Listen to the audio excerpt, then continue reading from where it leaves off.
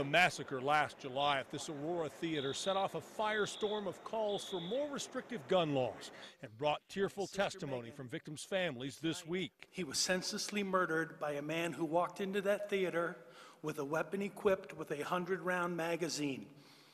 He opened fire, killing 12, including my son Alex, and injuring physically 58 others. Those who treated victims also carry emotional scars. This was a tremendous number of patients in a very short period of time with emotional stories and just a very hard thing to go through for everybody.